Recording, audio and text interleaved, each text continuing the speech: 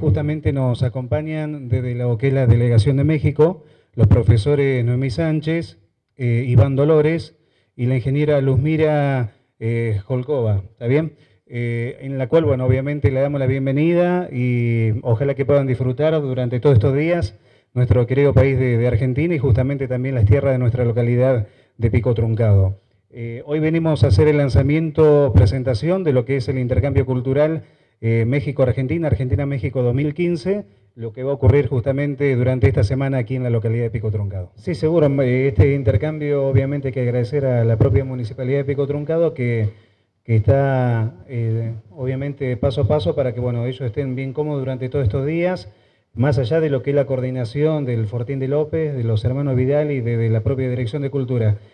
Justamente lo que buscamos es esto, ¿no? que se lleven los mejores recuerdos de Pico Truncado también tienen programado visitar otra ciudad de la provincia y que simplemente estamos a disposición para que salga todo lo mejor posible y que realmente este, cuando lleguen a México se acuerden de la mejor manera de nuestra localidad y de nuestro país.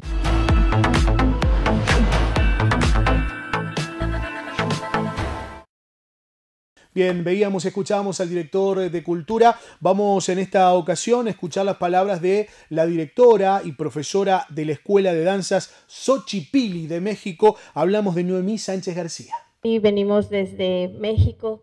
Venimos de dos partes, eh, dos estados de México, que es el estado de Hidalgo, que es un estado que se encuentra en el centro de la República Mexicana, y eh, los jóvenes también del estado de Guerrero a cargo del profesor eh, Iván Dolores. Este estado se encuentra en la costa del Pacífico, sin embargo ellos viven un poco eh, más, más arriba de lo que es el estado, en el norte del estado, en la sierra. Y pues bueno, estamos muy contentos de estar aquí en Pico Truncado.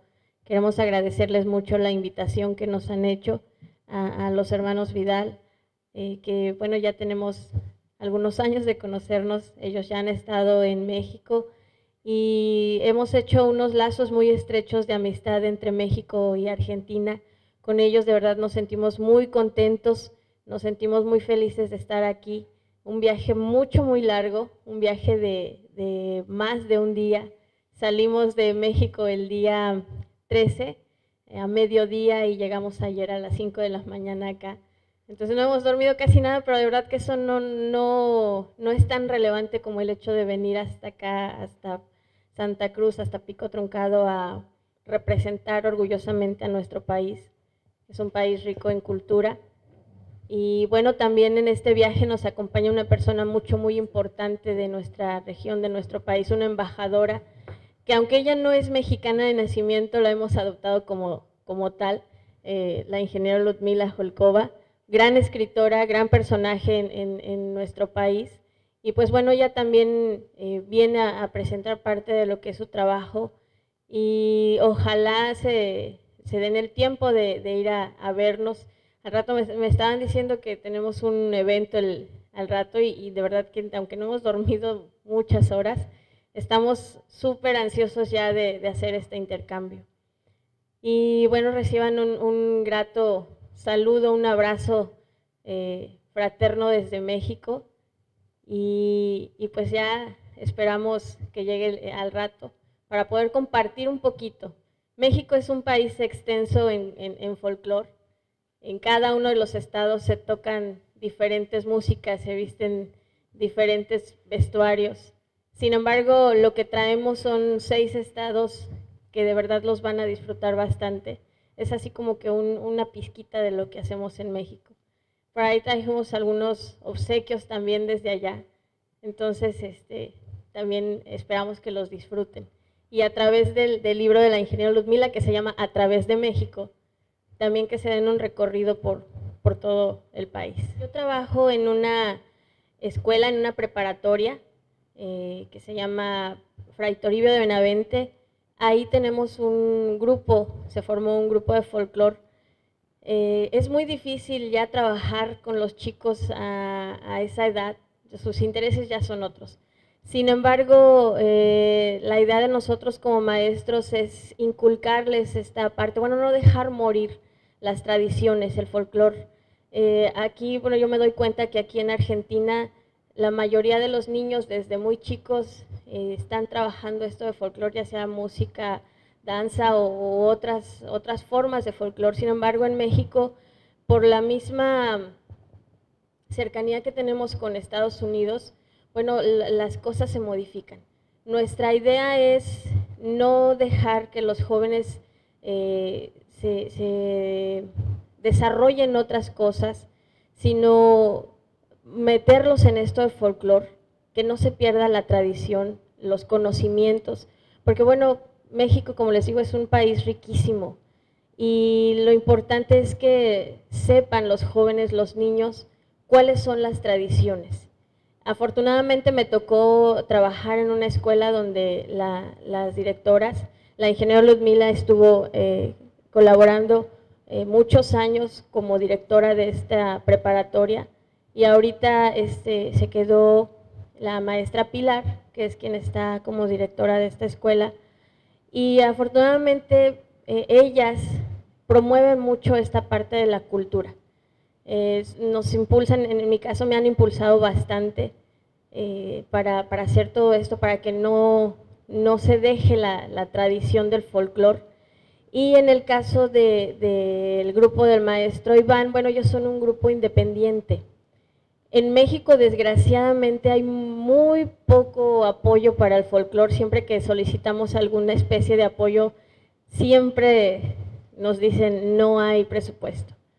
No hay este, por X, por lo que sea, no, no hay apoyo. Sin embargo, nosotros trabajamos mucho para, para costearnos nuestros vestuarios, para costearnos nuestros eh, viajes. Eh, en México también en diferentes, en, diferentes eh, etapas de la, del, año hay diferentes festivales, concursos, entonces todo esto nos lo costeamos nosotros, porque no hay los apoyos, desgraciadamente en nuestro país los intereses son más políticos que, que otros y sin embargo pues no se dan cuenta de cómo favorece el folclore, la, cultura a los jóvenes. Entonces, eh, ellos son un grupo independiente y nosotros pertenecemos, a una escuela. Sin embargo, como les digo, esta vez nos fusionamos porque no venimos representando ni a su ballet ni a mi ballet, sino venimos representando a un país. Y esa es la idea, que, que funcionemos como uno solo. Y, y para nosotros de verdad es muy, muy grato estar aquí mostrándoles así un pedacito muy pequeñito. Ellos vienen de una parte de, México donde hace muchísimo calor. El calor es húmedo, el calor es, se siente como, como si todo el, tiempo estuviera eh, con neblina, pero muy caliente. Y nosotros venimos de una parte de México donde el clima está loco. Puede, podemos tener las cuatro estaciones del año en un mismo día. Puede amanecer con un sol como ahorita está y a mediodía bajar la temperatura y en la tarde puede llover y en la noche puede hacer frío y a la madrugada hace un calor que no se soporta. Entonces, eh, para ellos yo creo que sí es un poco más difícil el, soportar este frío. Anoche que llegamos, eh, salimos del, aeropuerto, y cuando ya íbamos a, rumbo al carro, pues se sentía así el, el frío y, al llegar aquí pues se sentía todavía más. Pero eh, bueno, nosotros sí estamos un poco más adaptados a esas condiciones porque en, la región de nuestro país, los que venimos de Sagún, también el, clima es semidesértico. Pero nos llega el aire de, dos volcanes principales que, son, que están ahí en nuestro país, que es el, volcán Popocatépetl y el Iztaccíhuatl. Y eh, tenemos también muy cerca el, Golfo de México. Entonces, cuando hay frentes fríos, a nosotros en nuestro estado de Hidalgo nos afecta bastante. A ellos no, ellos, eh, la tierra es caliente allá donde, su, cuando están en, en, época de frío, el mínimo de ellos es el máximo de nosotros en cuanto a temperatura, entonces yo creo que para los que vienen de Guerrero, que son eh, Fernando, Jocelyn y Manuel, yo creo que así les está costando un poco más de trabajo adaptarse a, este clima. A nosotros, pues como sea, el aire también en Sagún es impresionante. Cuando hace aire, eh, no creo que tan fuerte como aquí, pero también, también hace mucho aire. Bueno, lo que conocemos de, la cultura argentina, eh, como les comentaba, van dos años que recibimos allá en, Ciudad Saguna los hermanos Vidal. Fue algo muy curioso porque nosotros nos conocimos por, por medio de Facebook y así hicimos el, el contacto. Cuando llegaron ellos el primer año a México, pues iban con, la incertidumbre de, saber si, si sí éramos quien decíamos, porque en, esa etapa el país estaba atravesando por, por un, una crisis. Bueno, regularmente en México siempre tenemos algo, ¿no?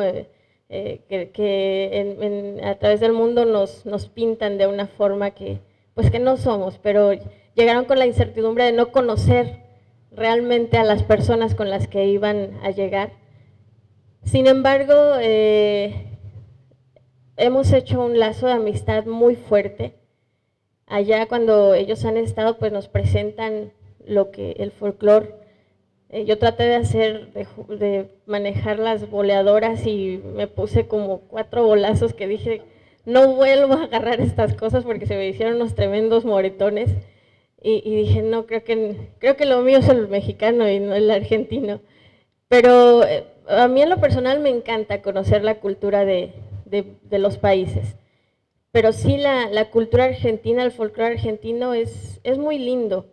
Lo que hemos visto, las chacareras, eh, la música, eh, los bailes. Yo con el mate ya estoy súper familiarizada porque las veces que han ido ellos me dejan, tengo ahí mi, muy buena adaptación de mate.